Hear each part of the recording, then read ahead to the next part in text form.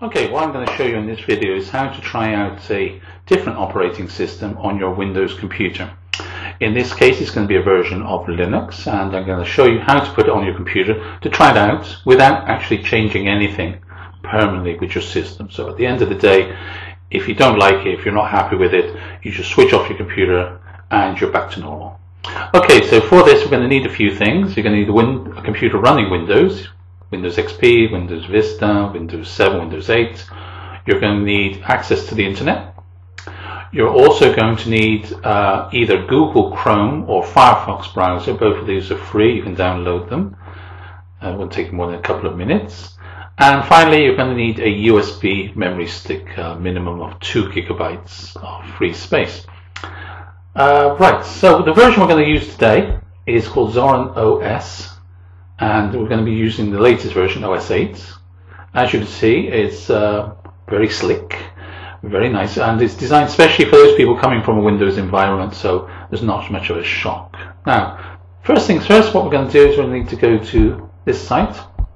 It's called Linux, oh sorry, pendrivelinux.com. We're going to universal USB installer. Don't worry, I'll put up the link later. And we're going, as you see on this page, it shows you how to create a USB installer stick uh, from your flash drive, which sounds very technical, but in fact is incredibly easy if you follow these steps. Now, first thing we're going to do, it explains you there as well, but I'm going to walk you through it. And the first thing we're going to need to do is download the UUI, this blue box. So we're going to click on the blue box and we're going to install install the program. It's in about one megabyte, so it shouldn't take very long.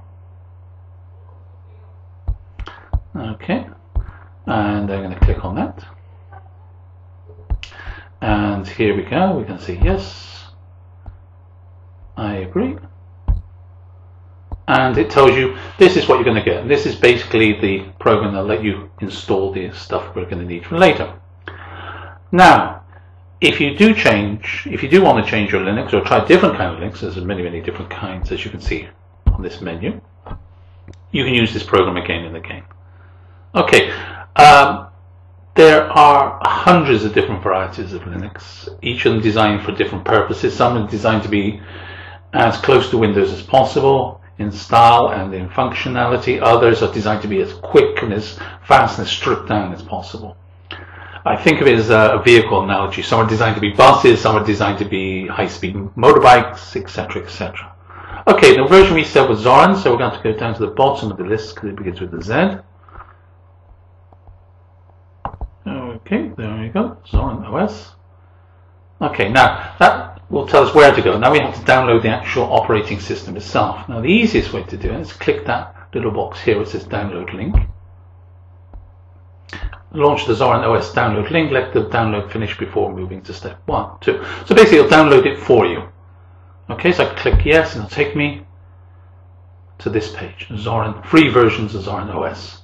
Now you have two versions, the most up to date is Zorin OS 8, an older version and a lighter version is on OS 6 LTS. LTS means long-term support, which means people are continuing to write software and update it and improve it. Now I'm going to choose the more modern version. and as you see, the little red stuff, it says you should be using Google Chrome or Google Fox. I'm using Google Chrome for this. You may choose to use the other one. Okay, and here we go. We've got a lot of different choices. And it says here Google Zorin OS 8.1 core standard desktop, blah, blah, blah. You've got either 32 bits or 64 bit choice, or you can just send off $6 more or less, and get them to send you the DVD.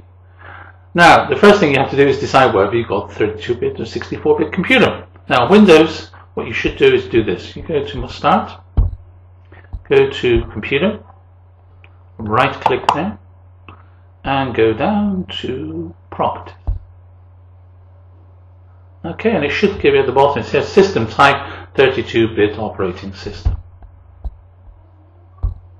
and then you just click on one of these. Now, I'm not going to do it. As you see, it's a hefty download. It's 1.5 gigabytes for the 32-bit, 1.6 for the 64 gigabyte one. I've already done that, so I'm not going to bother going through it again.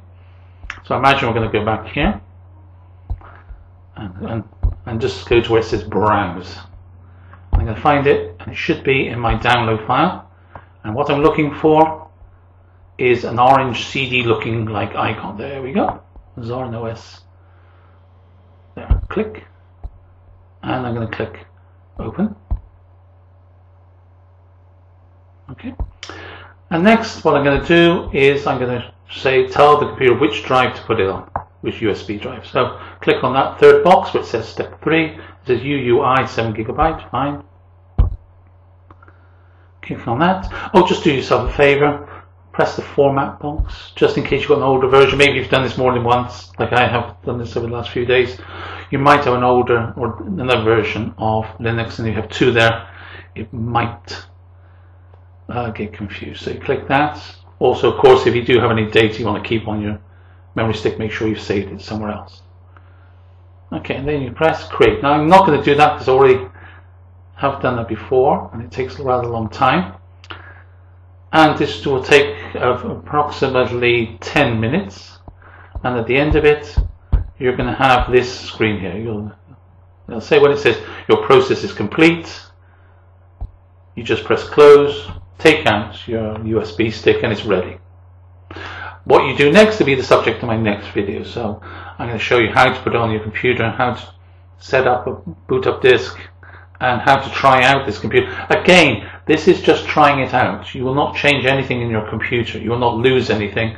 And if you feel a little bit, if you don't feel happy with this, you can just simply switch off the computer, pull out the USB stick, and the next time you switch it on, it'll be a Windows computer. I've done this maybe 20, 30 times with this particular computer, never ever had a problem. So you're not risking anything at all.